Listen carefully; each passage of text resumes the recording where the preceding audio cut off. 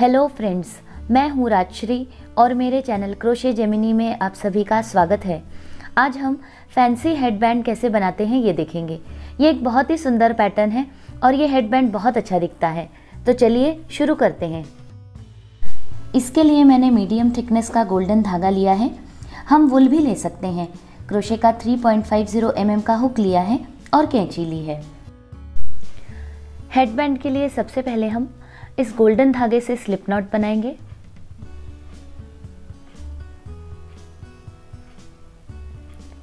अब हम सत्रह चेन बनाएँगे। एक, दो।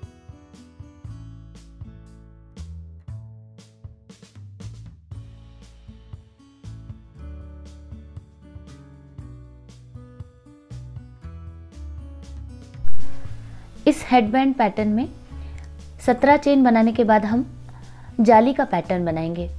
तो इसके लिए हम हुक से पांचवी चेन में स्लिप स्टिच बनाएँगे। तो ये एक, दो, तीन, चार और ये पाँच।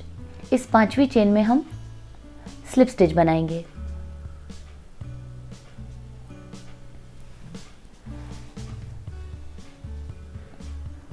तो ये हमारी पहली जाली बन गई।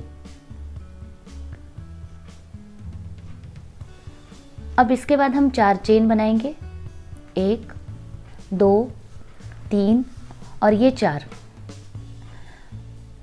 अब यहाँ पर हम नीचे दो चेन छोड़ देंगे और तीसरी चेन में फिर से स्लिप स्टिच बनाएँगे।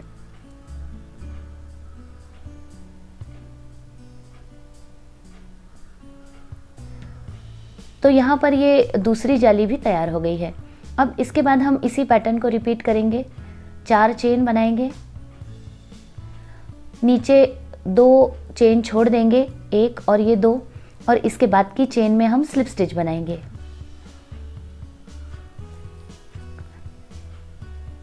इस हेडबैंड का पैटर्न बहुत ही सिंपल है। हमें इसी पैटर्न को इस पूरे हेडबैंड में रिपीट करना है। चार चेन बनाने के बाद नीचे की दो चेन छोड़ देंगे, और इसके बाद की चेन में हम एक स्लिप स्टिच बनाएँगे। तो यहाँ पर ये चौथी जाली भी तैयार हो गई है। अब फिर से हम चार चेन बनाएँगे। और यहाँ अब हमारे पास ये तीन चेन बच गई हैं। तो ये पहली दो चेन छोड़ देंगे और सबसे लास्ट की चेन में फिर से एक और बार स्लिप स्टिच बनाएँगे। तो यहाँ पर ये हमारी पांचवी जाली भी तैयार हो गई है। अब इसके बाद हम टर्न करेंगे और चार चेन बनाएँगे। एक, दो, तीन और ये चार। अब हम, ये जो हमने इसके पहले की लाइन में एक जाली बनाई है तो यहाँ इस चार चेन की स्पेस में हम स्लिप स्टिच करते हुए इस सेकेंड लाइन की चार की चेन को ज्वाइन करेंगे। अब इसके बाद हम फिर से चार चेन बनाएँगे। हमें इसी पैटर्न को रिपीट करते रहना है। अब ये जो अगली चार चेन की स्पेस है, यहाँ पर स्लिप स्टिच करेंगे और इस दूसरी चार की चेन को ज्वाइन करेंगे। अब फिर से हम चार चेन बनाएँगे और ये जो अगली चार चेन की स्पेस है, यहाँ पर स्लिप स्टिच करते हुए ज्वाइन करेंगे। अब इसी तरह से हम फिर से चार चेन बनाएँगे। तो ये एक, दो, तीन और ये चार। अब फिर से हम अगली चार चेन की स्पेस में स्लिप स्टिच करते हुए इसे ज्वाइन करेंगे। अब हम फिर से चार चेन बनाएँगे। एक, दो, तीन और ये चार। अब यहाँ पर ये जो सबसे लास्ट की चार चेन की स्पेस है, इसमें हम स्लिप स्टिच करते हुए इस चार की चेन को ज्वाइन कर लेंगे। तो यहाँ पर ये हमारी दूसरी लाइन भी कंप्लीट हो गई है। अब फिर से हम चार चेन बनाएँगे। और टर्न करेंगे। अब ये जो अगली जाली है, इसमें हम फिर से स्लिप स्टिच बनाते हुए इस चार की चेन को ज्वाइन करेंगे। अब फिर से हम चार चेन बनाएँगे और इसी पैटर्न को हम इस थर्ड लाइन में भी रिपीट करेंगे। अब फिर से चार चेन और ये जो अगली चार चेन की जाली है, यहाँ पर स्लिप स्टिच करते हुए इसे ज्वाइन करेंगे। फिर से चार चेन और ये अगली जाली में स्लिप स्टिच करते हुए चार की चेन को ज्वाइन करेंगे। अब हम फिर से एक और बार चार चेन बनाएँगे। और ये जो लास्ट की जाली है, इसमें स्लिप स्टिच बनाते हुए इस थर्ड लाइन को कंप्लीट कर लेंगे। तो यहाँ पर हम ये देख सकते हैं कि हमारा ये जालीदार डिज़ाइन तैयार हो रहा है। यहाँ पर हम इसी पैटर्न को हर लाइन में रिपीट करेंगे। और टोटल 19 इंचेस की लंबाई आने तक इस पैटर्न को बनाएँगे। हेडबैंड की लेंथ हम सिर के सर्किमफ्रेंस की लेंथ से एक इंच कम ही रखेंगे, क्योंकि हेडबैंड लगाने के बाद खिंचता है और ये एक इंच तक स्ट्रेच हो जाता है। मैंने 19 इंच की लंबाई पूरी होने तक इस पैटर्न को कंप्लीट कर लिया है। अब यहाँ लास्ट लाइन के लिए सबसे पहले हम एक चेन बनाएँगे। और ये जो चार चेन की स्पेस है, यहाँ पर तीन सिंगल क्रोशे स्टिच बनाएँगे। क्योंकि अब इस लाइन के बाद हम दोनों साइड्स को ज्वाइन करेंगे। तो यहाँ पर हम हर चार चेन की स्पेस में तीन तीन सिंगल क्रोशे स्टिच बना लेंगे।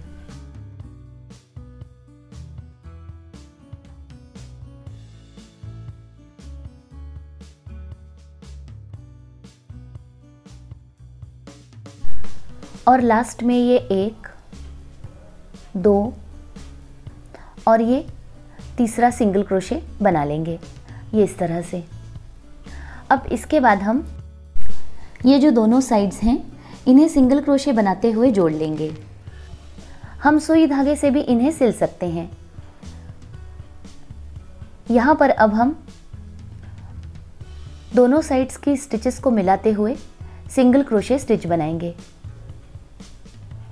तो यहाँ ये इस तरह से सिंगल क्रोशे बनाएँगे।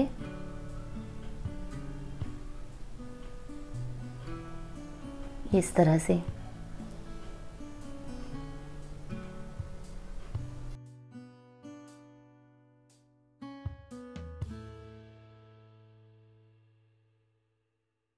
मैंने दोनों साइड्स को सिल लिया है और हमारा हेडबैंड तैयार है। ये बहुत सुंदर दिख रहा है। हम इसे प्लेन भी पहन सकते हैं, या फिर इसे और सजाने के लिए हम कोई बटन फ्लार या बो भी लगा सकते हैं। हम इस हेडबैंड के लिए क्रोशे का बटन बनाएँगे। बटन के लिए मैंने ब्राउन कलर का एम्ब्रॉयडरी थ्रेड लिया है, हम कोई भी धागा ले सकते हैं। और क्रोशे का 2.50 पॉइंट mm का हुक लिया है। तो यहाँ पर सबसे पहले हम अब इस ब्राउन धागे से स्लिप नॉट बनाएँगे। अब हम पाँच चेन बनाएँगे।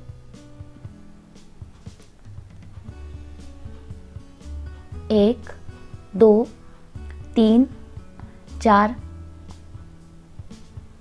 और ये पाँच। अब ये जो पहली और पांचवी चेन है, इन्हें हम स्लिप स्टिच करते हुए ज्वाइन कर लेंगे।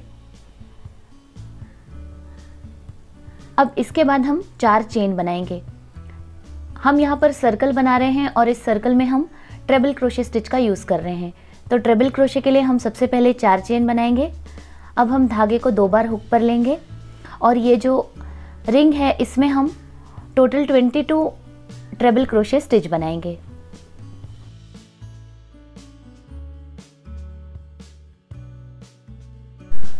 मैंने फ़र्स्ट राउंड कंप्लीट कर लिया है और इसमें मैंने टोटल 22 ट्रेबल क्रोशे स्टिच बनाए हैं।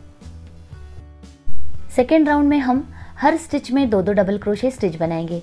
यहाँ पर ये तीन चेन मिलाकर पहला डबल क्रोशे बन गया है। अब हम इसी स्टिच में दूसरा डबल क्रोशे स्टिच बनाएँगे। पहले राउंड में हमने टोटल 22 ट्रेबल क्रोशे स्टिच बनाए हैं तो यहाँ पर अब इस दूसरे राउंड में हम टोटल 44 डबल क्रोशे स्टिच बनाएँगे। मैंने सेकेंड राउंड कंप्लीट कर लिया है और हमारा ये बटन सर्कल या फ्लार हम इसे जो भी कहना चाहें, ये तैयार है। अब हम इसे हेडबैंड पर सिल लेंगे। हमारा हेडबैंड तैयार है। बटन लगाने के बाद ये और भी अच्छा दिख रहा है। हम इसे छोटे या बड़े किसी भी साइज़ में बना सकते हैं। ये एक बहुत ही जल्दी बनने वाला प्रोजेक्ट है। मैंने इस हेडबैंड को लगभग एक घंटे में पूरा किया है।